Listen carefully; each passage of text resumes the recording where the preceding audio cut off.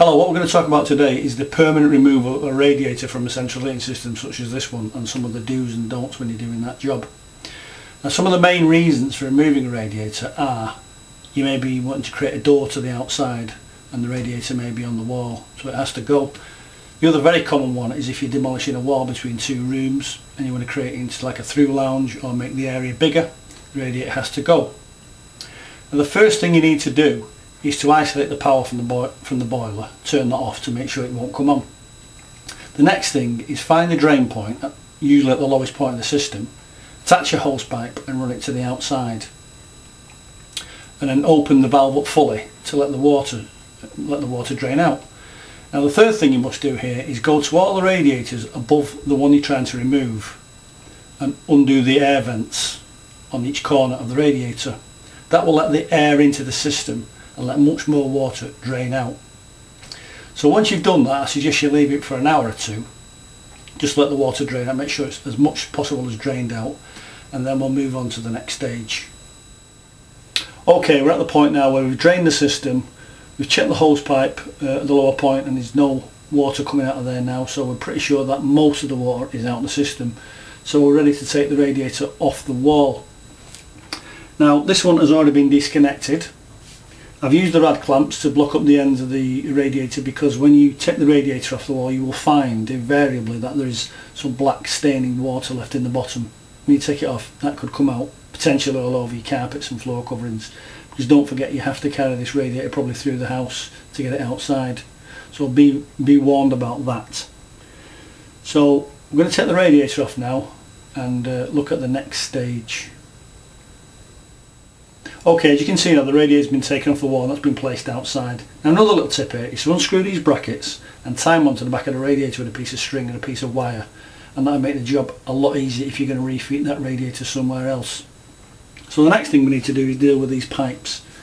Now contrary to what people tell you, you do not connect these pipes back together. In fact it's an absolute do not because what you'll have is a small heating circuit which will be continually on wasting fuel, wasting gas so you do not want to reconnect these pipes together, whether it's a single pipe system or a twin pipe system. You don't do that. What you need to do is trace them back as far as you can to the actual branches. They will be branched in somewhere in the circuit and, and cut them off and cap them as close as you can to that, to that T-piece. So the next thing I'm going to show you is how to actually cap off and blank off the pipe work. Now we've got to the point where we've taken off the radiator and that's been moved outside and you're going to be left with two pipes now sticking up at each end of where the radiator was and we need to get these disconnected from the system. Now you're going to have to do some investigation work here now to find out where they're actually connected to which is going to involve uh, probably moving a few carpets and pulling up a few floorboards because each insta installation is, is different. So let's assume you get to the point where you're going to find out where they're connected up to. You're going to find something like this which is a 22 mil main line with the 15 mil branch. Now this is 15 mil. Let's assume it's 15 mil going to your to your radiator. You'll have one connection on the flow and one on return. So you're just interested in dealing with these two pipes here. Now I'm saying that you've got 15 mil pipes. You could have uh, there's another alternative two sizes, which is 10 mil, which is this, and a very rare but still in existence 8 mil. You may have that as well. Now to give you an idea uh, what what of determining the sizes you may have. I'm going to there's a pound coin. I'm going to place the pound coin underneath the pipe there, so you can see that's 15 mil. That's 10 mil, and that's 8 mil. Like I say, these are much rarer, but the, you, you you could be um, you could encounter these. But uh, it's more like you're going to have either the 15 mil or the 10 mil uh, micro bore. Now these let's assume you get to this point here which is the branch or the the T-piece. You need to cut this pipe about approximately three inches away from the end. If it's got to be longer it's got to be longer but try and get as close to this line as you possibly can.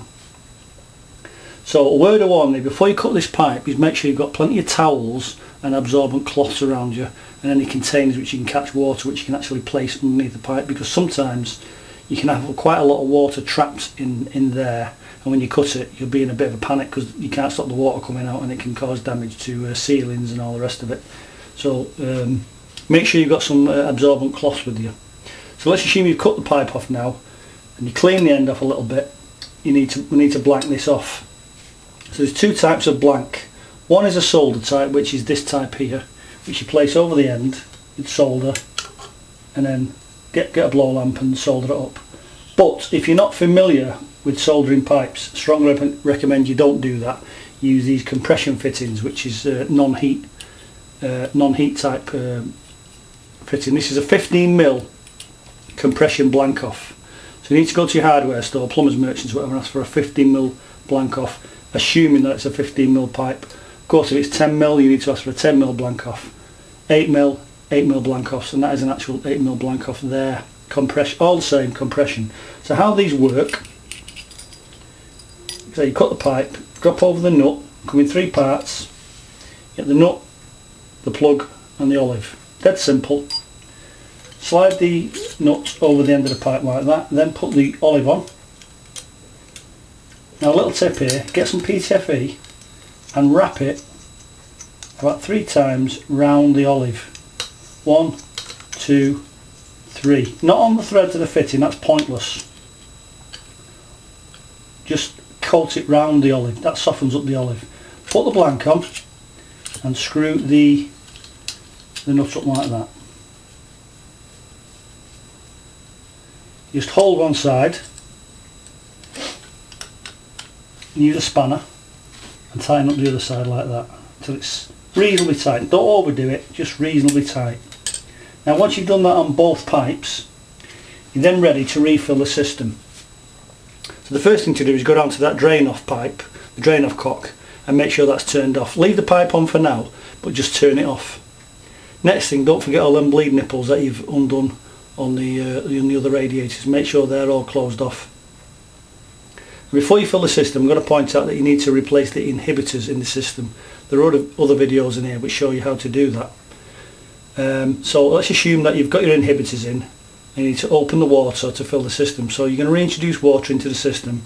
Go around bleeding the radiators from the top down. I strongly recommend as well you have somebody monitoring these joints here while you're filling it um, just just to make sure everything's okay so go around and bleed all the all the radiators um, get everything full up and then keep checking these joints here once it's full up put the heating system back on and get these two pipes fully heated and then check them again make sure everything's absolutely dry and everything's okay and everything's working before you put the floorboards down. Once you've done that put the floorboards back put your carpets back take off the hose from the um, drain off in, in the cellar and that's it you remove your radiator. So that's how to do it. So um, good luck and uh, thanks for watching